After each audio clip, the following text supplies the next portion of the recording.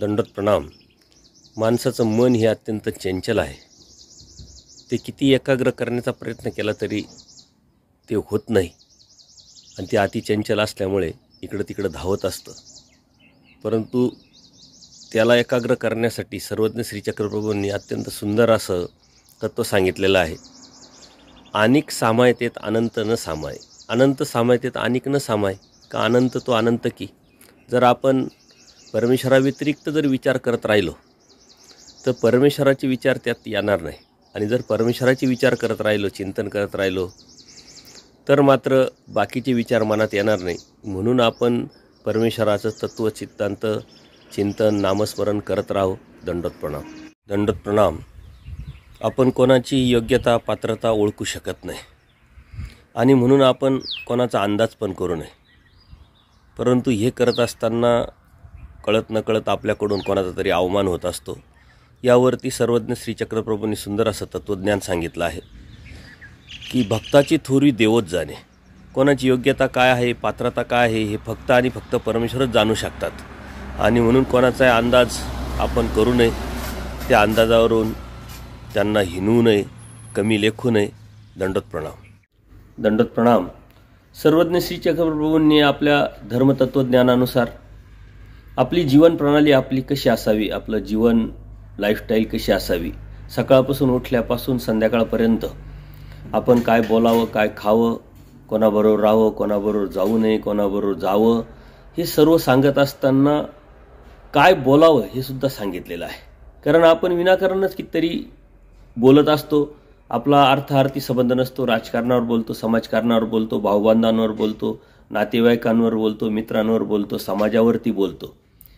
कळत न कळत आपल्याकडून कोणाविषयी जर वाईट बोलल्याच गेलं तर कधी ना कधी ते ओठांतून निघातले जे शब्द आहे त्याच्या कानापर्यंत जातात आणि आपल्या विषयी त्याच्या मनात कटुता निर्माण होते.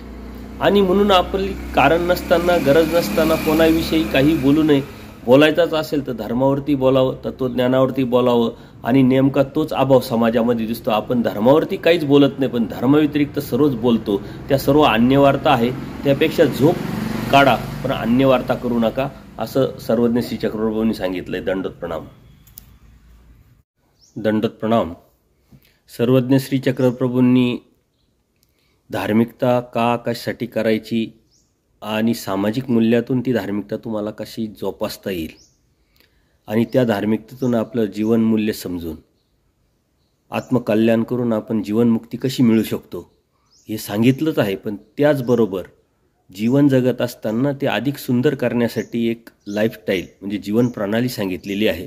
आणि ही जीवन प्रणाली खाण्याशी निगडीत असल्यामुळं प्रथम आपण जे जेवण करतो त्यातून कोणाचंही मन दुखवलं नाही गेलं पाहिजे ते शुद्ध शाकाहारी असलं पाहिजे.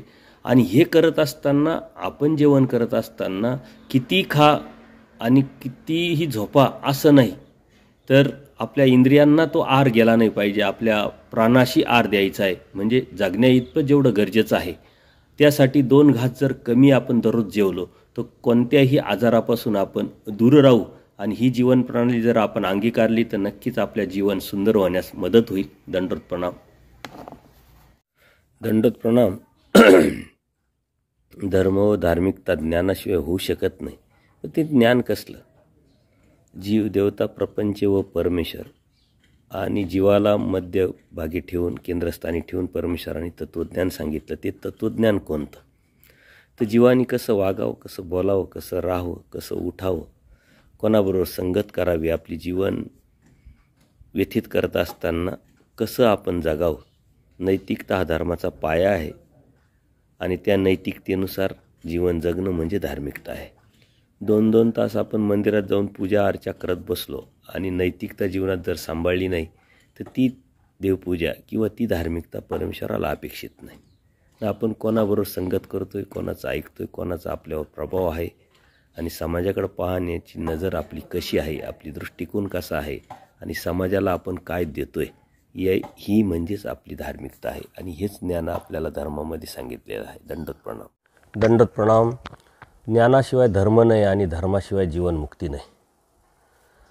परंतु भौतिक जगामध्ये आपल्याकडं ज्ञान भरपूर असतं प्रत्येक ठिकाणी आपण ज्ञान लावतो. साधी आपल्या घरच्या ज्या भगिनी असतात स्त्रिया असतात त्या स्वयंपाक करतात. त्यांनासुद्धा ज्ञान असतं. मीठ किती टाकायचं मिरची किती टाकायची तेल किती टाकायचं. साधा स्वयंपाक जर ज्ञानाशिवाय होऊ शकत नाही तर धर्म ज्ञानाशिवाय कसा मिळू शकेल? धर्म ज्ञानाशिवाय कसा समजेल? मग आपण कुठं कॉलेजला शाळेत जाऊन काही धर्माचा अभ्यास केला आहे का? ज्ञान घेतलं आहे का? नाही. हे संस्काराने अंदाजाने चालू असतं. परंपरेने आपल्याकडं आलेलं असतं. लोक करतात म्हणून आपण करतो. किंवा भीतीपोटी नव्याण्णव पॉईंट नव्याण्णव टक्के लोक धार्मिकता करतात. पण का करायची कशासाठी करायची हे कोणालाही माहीत नाही. आणि म्हणून त्याचं ज्ञान घेणं हे आपल्या जीवनाचं मुख्य कर्तव्य आहे. मूळ उद्देश आहे. आणि तो जर आपण समजून घेतला तरच आपल्याला धर्माची व्याख्या समजेल. अन्यथा धर्माच्या नावाखाली ही जी आपल्याला चाललेले जे भ्रष्टाचार आहे तो आपल्याला सतत दिसतच राहील. दंडोत प्रणाम. दंडोत प्रणाम. सर्वज्ञ श्रीचक्रप्रभूंनी आपल्या तत्त्वज्ञानामध्ये धर्मतत्त्वज्ञान सांगत असताना संगतीला अत्यंत मोठं महत्त्व दिलेलं आहे.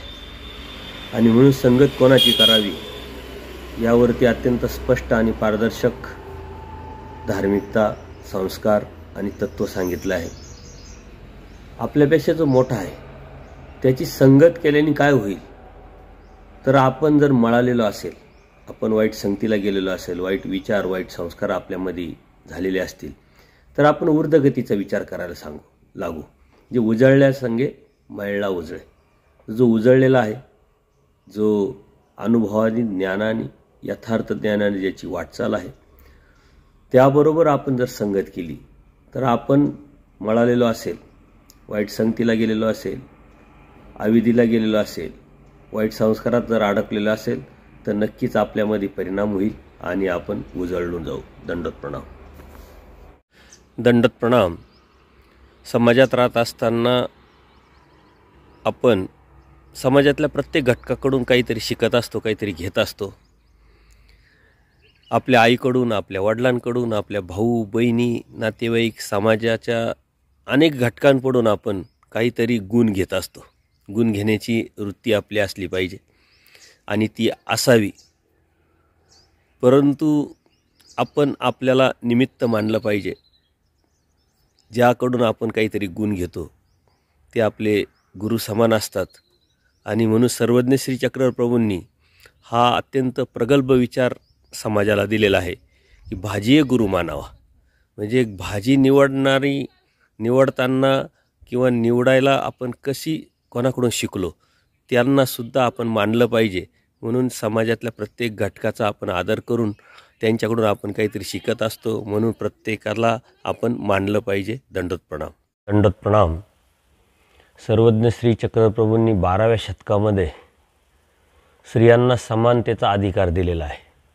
आज आपण एकविसाव्या शतकाकडं वाटचाल करत असतानासुद्धा स्त्रियांना अनेक अडचणींना तोंड द्या द्यावं लागतं आहे अनेक ठिकाणी आपल्या हक्काला लढावं लागतं आहे परंतु बाराव्या शतकातच परमेश्वरांनी स्त्रियांचा समानतेचा अधिकार दिला होता. आणि मोक्षाचा अधिकार शास्त्राचा अधिकार अशी कोणत्याही प्रकारची अडचण स्त्रियांना नाही. स्त्री फक्त एक कर्मवशे स्त्रीदेही किंवा स्त्रीलेपी किंवा कर्मानी तिला तो ध्येय भेटलेला एवढाच एक फरक आहे. मात्र जीव आतला पुरुष असो का स्त्री असो सारखाच आहे. परंतु हे असतानासुद्धा स्त्रीला स्वतःचं संरक्षण करण्यासाठी लज्जारूप धर्म स्त्रियांशी रक्षण असं परमेश्वराने सांगितलं आहे आजच्या काळामध्ये आपल्याला ती अडचण दिसते. स्त्रियांवरती अनेक अत्याचार होतात. तर लज्जा हा एक नैसर्गिक दागिना स्त्रियांना दिलेला आहे आणि तोच त्यांच्या संरक्षणासाठी उपयोगी पडत असतो. दंडोत प्रणाम. दंडोत प्रणाम. परमेश्वरांनी सांगितलेल्या तत्त्वज्ञानामध्ये मूळ तत्त्व आहे हिंसा. आणि हिंसेनेच साऱ्या गोष्टी सुरुवात होत असते जीवनाची वाताहत होत असते. आणि म्हणून आपण हिंसा टाळली पाहिजे. पण आपल्या डोक्यात एकच आहे की कोणाला तरी मारणं म्हणजे हिंसा. नॉनव्हेजमध्ये तसं काही भेटत नाही. अकरा टक्के फक्त प्रोटीन प्रथिन असतं. परंतु बी ट्वेल्व नावाचा एक घटक तो आपल्याला दुधातून मिळतो आणि कोवळ्या उन्हातून मिळतो. म्हणून ते आपण टाळलं पाहिजे. परंतु हिंसा म्हणजे फक्त नॉनव्हेज खाल्लं तरच हिंसा होते असं काही नाही मन कोणाचं दुखवलं कोणाला वाईट वाटेल असं वागलं बोललं कोणाचा अपमान केला ही सुद्धा हिंसाच आहे.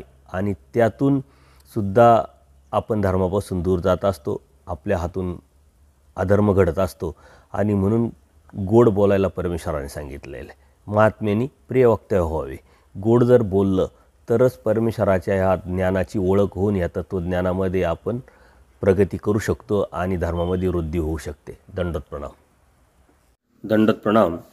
सर्वज्ञ श्रीचक्रप्रभूंनी तत्त्वज्ञान सांगत असताना आत्महिताच्या आत्मकल्याणाच्या अनुषंगाने अनेक सामाजिक मूल्य सांगितलेले आहे. समाजात राहत असताना जर आपण कोणाची खोडी केली नाही कोणाविषयी संशय व्यक्त केला नाही आणि कोणाला त्रास दिला नाही तर कोणी आपल्याला त्रास पण देणार नाही आणि आपल्याविषयी पण वाईट बोलणार नाही.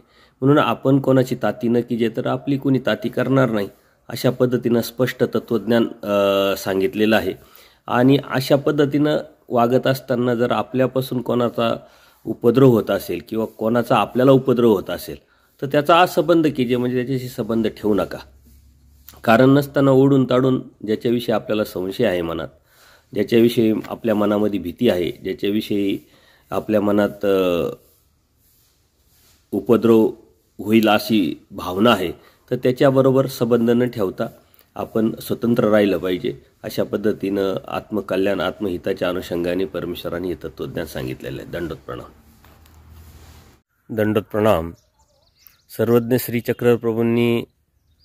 साधकाला साधना करत असताना आपली विचारधारा कशी असली पाहिजे? आणि त्याचबरोबर सर्वसामान्य जनतेला ही आपल्या जीवनामध्ये जीवन जगत असताना आपण काय केलं पाहिजे अत्यंत स्पष्ट आणि पारदर्शक सांगितलेलं आहे. आपण करू का न करू आपल्याकडून होईल का न होईल याचा विचार न करता आपण करण्याची हाव धरली पाहिजे.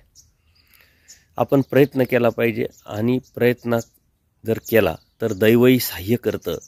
आणि म्हणून अध्यात्मामध्ये नव्याण्णव टक्के प्रयत्नवाद आणि एक टक्का प्रारब्धवाद सांगितलेला आहे. का जो आपल्या हातामध्ये नाही. प्रारब्धवाद आपल्या हातातून गेलेला आहे.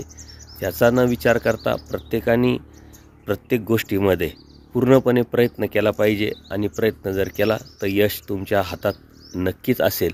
म्हणून प्रयत्नवादी राहा दंडोत प्रणाम. दंडत प्रणाम. ह्या जगामध्ये आपण जीवन जगत असताना आपल्या आजूबाजूला अनेक असे लोक असतात की जे आपल्याला सल्ले देत असतात. परंतु जो सल्ला आपल्याला ते देतात ते आपल्या जीवनामध्ये ते आचरण करताना खूप कमी लोक दिसतात. म्हणून सर्वज्ञ श्री चक्रप्रभूंनी आचार्य योग्यता विचारे दृढता असं स्पष्ट सांगितलं ज्याचे विचार दृढ आहे तो आचाराकडे झुकलेला आहे. आणि धर्मामध्ये आचरणाला अत्यंत सर्वसाधारण अनन्यसाधारण महत्त्व आहे. कारण बोलणारेपेक्षा करणारे इथं परमेश्वरापर्यंत पोचू शकतात.